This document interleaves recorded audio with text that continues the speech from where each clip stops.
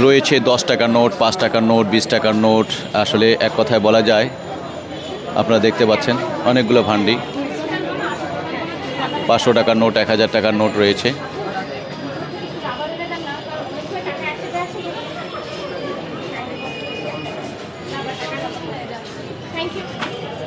আপনারা দেখতে পাচ্ছেন দর্শক, আমরা আপনাদেরকে একটু দেখানোর চেষ্টা করি।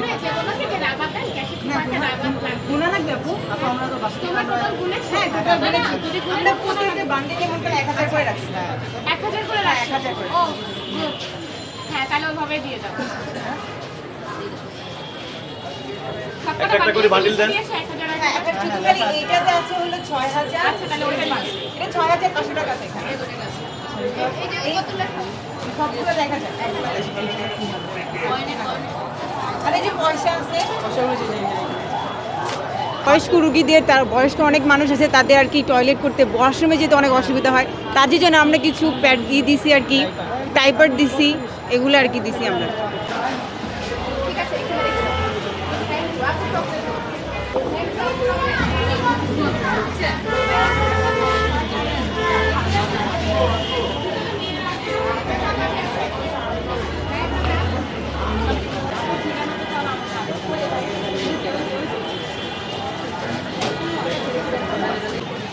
ছোটো একটা বাবু, পাঁচশো টাকা দিচ্ছেন আর একটা চকলেট পাচ্ছেন।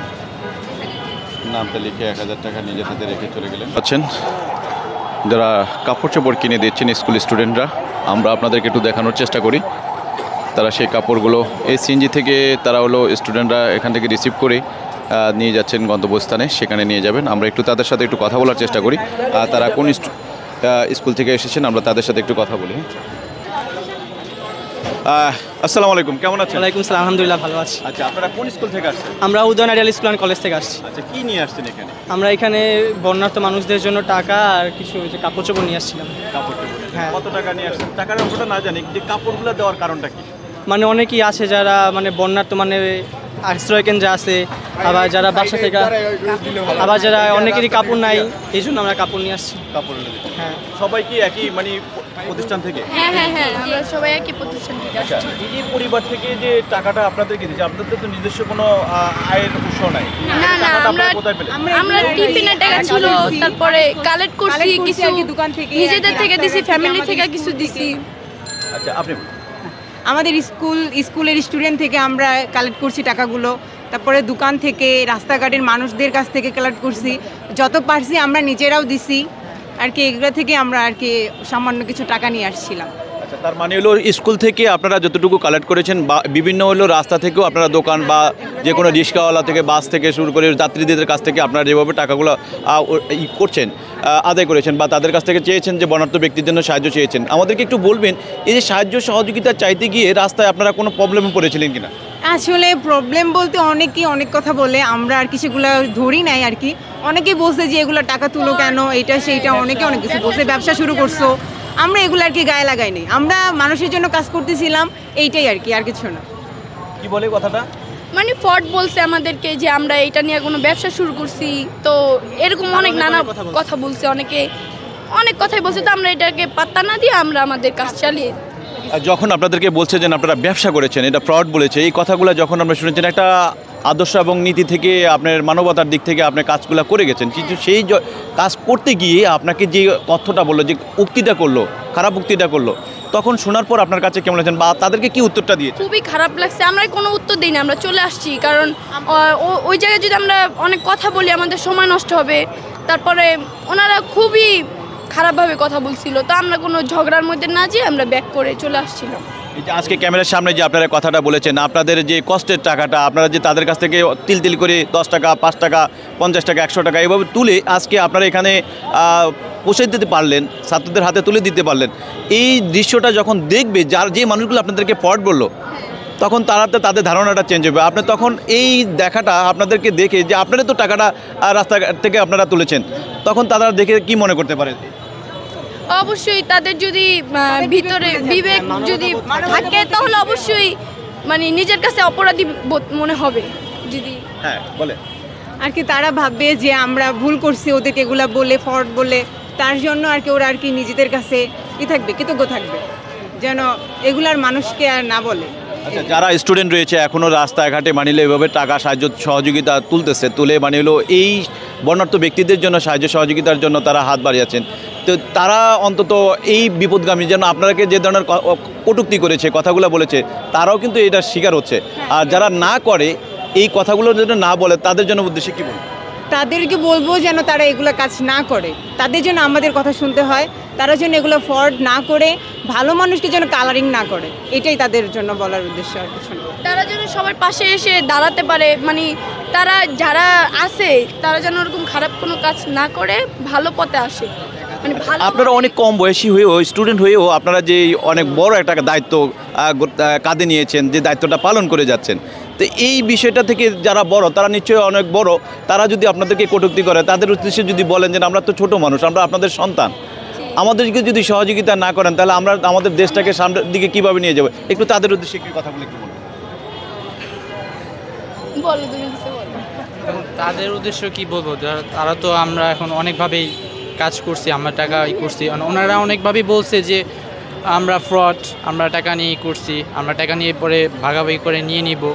তো আমরা এগুলো উত্তর কিছু দিইনি। আমরা বলছি যে আপনার সাহায্য চেয়েছি আমরা বন্যা মানুষের জন্য। কারণ আমরা এটা দেখছি যে অনেকে বলছে যে বন্যা এখন আর নাই বন্যা চলে গেছে।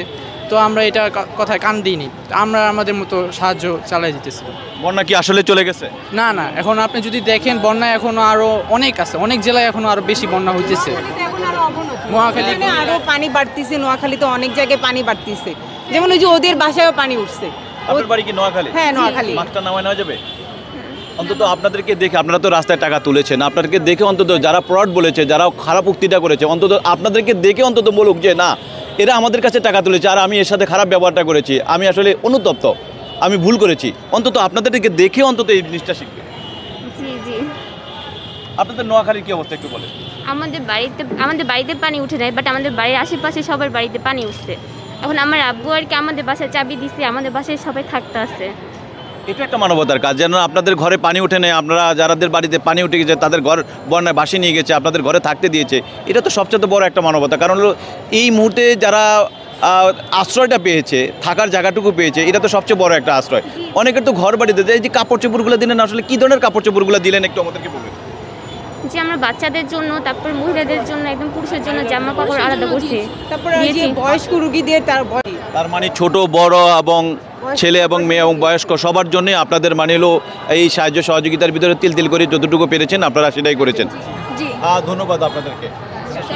দর্শক আপনারা দেখেছেন যে নদীন স্কুলের যে ছাত্রছাত্রী যারা রয়েছেন তারা রাস্তা মানে যেভাবে টাকা পয়সায় যতটুকু পারেছেন উদ্ধার সহজে সহযোগিতা করে তারা এই কাজগুলো করেছেন। পাশাপাশি আমরা আপনাদেরকে দেখা দর্শক তারা তো কাপড় চোপড় কিনে দিয়েছেন। পাশাপাশি আমরা দেখতে পাচ্ছি তারা এখানে একটুখানি সাহায্য সহযোগিতা করবেন এবং তাদেরকে একটু টাকাও তারা এখানে ডোনেট করবেন। সেই বিষয়গুলো একটু দেখানোর চেষ্টা করব। পাশাপাশি দর্শক, এইটা দেখানোর পরপরই কিন্তু আজকে যে উদয়ন স্কুলের স্টুডেন্টরা এখানে এখন টাকা দিতে আসছেন। আমরা একটু আপনাদেরকে দেখানোর চেষ্টা করি। স্টুডেন্টের হাতে তুলে দিয়েছেন। আমরা একটু আপনাদেরকে দেখানোর চেষ্টা করি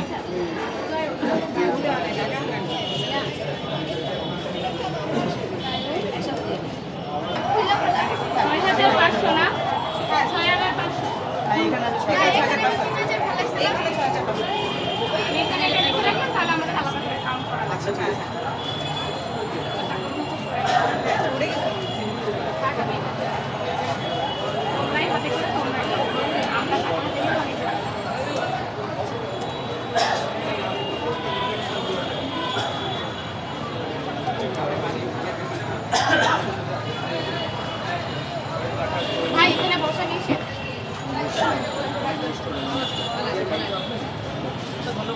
থ্যাংক ইউ সো মাচ আল্লাহ হাফেজ সবাইকে চকলেট দিবেন না?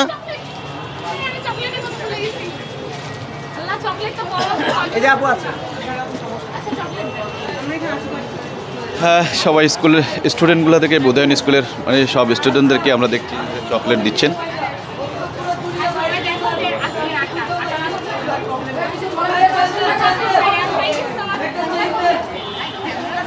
খাচ্ছে এখন চেঞ্জ হবে না। ক্লাস টেন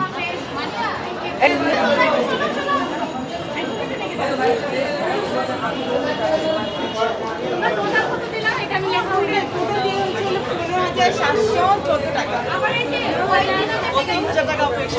আবার এই যে আবার তিন হাজার এক্সট্রা তিন হাজার এক্সট্রা সাতশো আঠারো টাকা। আপনাদের সাতশো আঠারো টাকা না? আপনি কত দিচ্ছ? থ্যাংক ইউ এক হাজার। ভাইয়া আর কিছু আমাদের এখন মিটিং হ্যাঁ আপনি আসছেন তো এগুলো এত নেওয়া যাবে না। কেউ আসছে দর্শকের যে খাওয়ার স্যালাইন নিয়ে আমরা দেখতে পাচ্ছেন সেটা আমরা আপনাদেরকে দেখানোর চেষ্টা করি।